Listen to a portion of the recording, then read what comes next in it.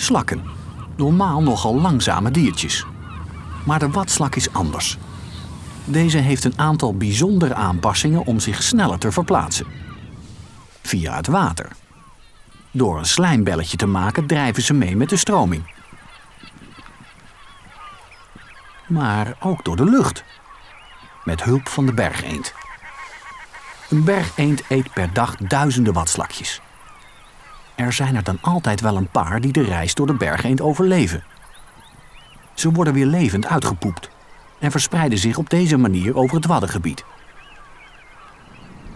Watslakjes leven het liefst op hele slikkige watplaten. En ze zijn met heel erg veel. Soms wel 300.000 watslakjes per vierkante meter. Al deze watslakjes grazen de watbodem af op zoek naar kiezelwieren om te eten.